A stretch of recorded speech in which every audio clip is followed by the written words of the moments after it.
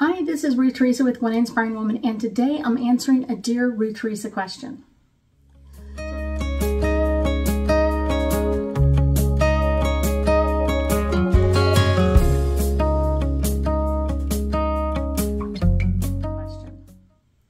So I got asked this question not too long ago, which was kind of an interesting one.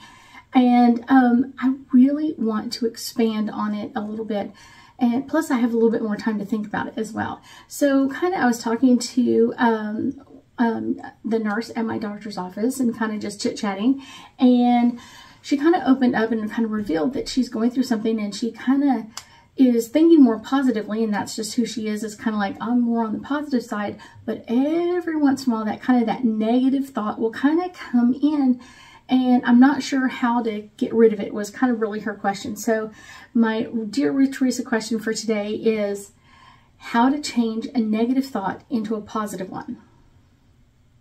And I will tell you, so many people really kind of like catch onto this and do it the wrong way. So what they end up doing is they want to keep their thoughts as positive as they possibly can. Positive, positive, positive. And that's like, oh, yay, yay, yay, amazing. The problem comes in at that when you just kind of ignore the negative thoughts and kind of just deal with the positive thought, that negative thought isn't really going away. And it's not really just um, kind of like, oh, I'm going to disappear into oblivion and never come back again. It's kind of like your dirty laundry it never goes away. Even if you ignore it, it still keeps growing. The pile just keeps getting bigger and bigger and bigger and bigger and bigger. And you kind of like, okay, how do I let this go?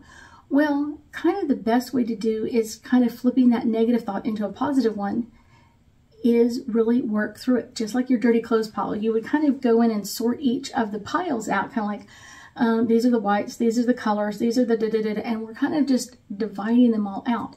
And that's really what we have to do with our negative thoughts as well. And picking up each one and kind of looking at it and like, how negative is this thought? And what if it did go, you know, what if it, we went down this negative path? What would happen? And always kind of keeping understanding that no matter what, you always have a negative side and a positive side to something. So even if you're saying like, this is a negative aspect and I don't want this to come true, I don't want any of this to shine through in any part of it, it's one of those, there's always a positive lining at the bottom of that. What is the positive that could come from this? And um, I think that's one of the best lessons in the world is don't ignore the negative thoughts. Really work through each of the negative thoughts and kind of putting it into its place. And kind of really asking yourself first is kind of like, what pile does it go into? Is really where does it like is it likely to happen or very not likely to happen is it like uh, on a scale from 1 to 100, is it like 85 or above? That's like most likely going to happen. Is it kind of that, you know, 60 to 70 range, like it could happen? Or is it kind of like that 30-ish range of kind of like, well, it possibly could possibly happen this way? Or is it closer to the most likely this isn't going to happen? Kind of like that under 10, kind of like, so kind of putting it in the right pile can help you work through some of this. So kind of like picking that up and really think about like, how could this um, continue to stay negative? Okay, so it's most likely going to go in this pile or that pile or the other pile.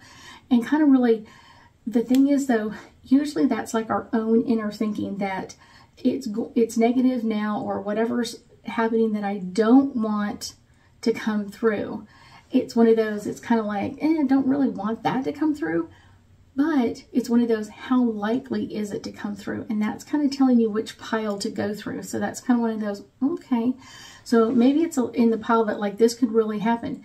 Then think about that. Like if this were to happen, then what could happen?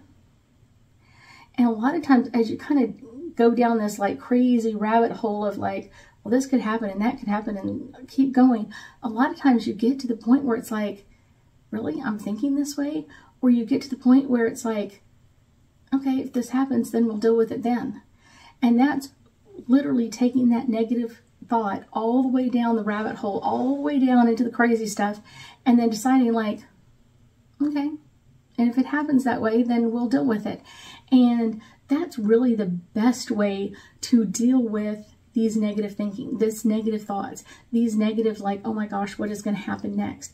That is really the best way to think about these negative thoughts and kind of taking it down to the utmost degree and then really looking at it like if this is really, really likely. Because a lot of times it's really not. And it's just our crazy thinking of like, oh my gosh, negative, negative, negative. But if we work through those negative thoughts, it really usually gets better. Thinking kind of is like, okay, well, this isn't so bad. This isn't horrible. And if this happens, we'll deal with it then. I think that is one of the best ways to deal with it. So let's do some angel cards and really think about um, kind of um, how do we change a negative um, thought or idea into a positive one. So let's do that. This is my first one coming up. And this is um, the sun and this is the source. And this is a really good one um, because um, our creator energy always has like the best intentions for us. And that's a really, really good thing, a way to think about things.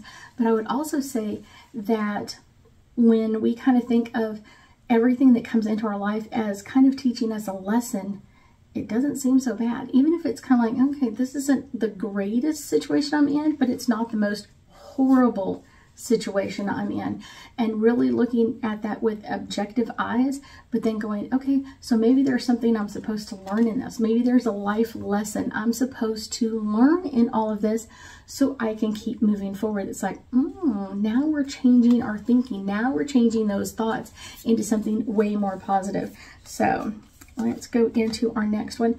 And this is Mars, and this is all about motion.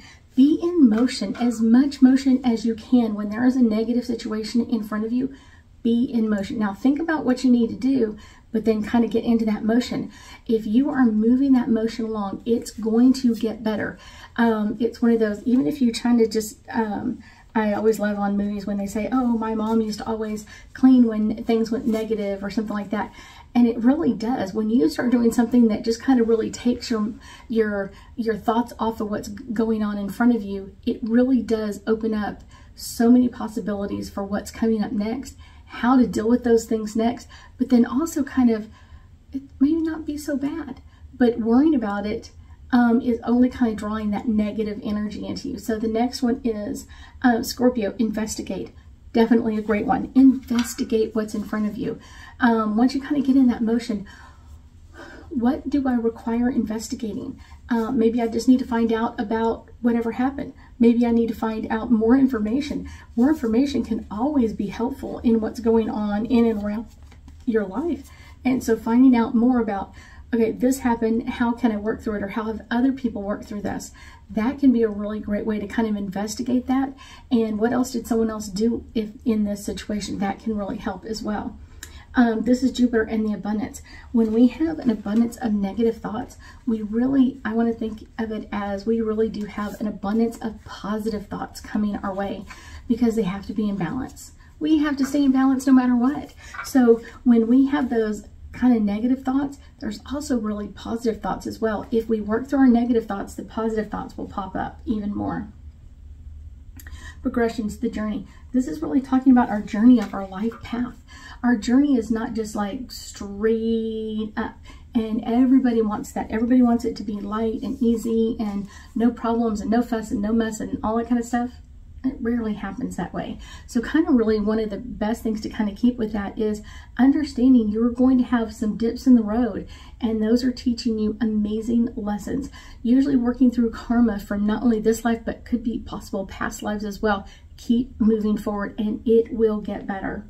The last one is kind of um, solar calm and this is about the uh, uh, clarifying kind of what is that you really have to clarify. What is the, the situation or what you have to deal with at this moment in time? What is that? And how are you going to work through it? Or how are you thinking you're going to get some better clarity in this? Finding out about the situation and finding out um, how you can work through it easier is amazing. And it can really help you not only now, but in the future as well. I thank you so much for joining me today, and I know that we'll be talking again soon.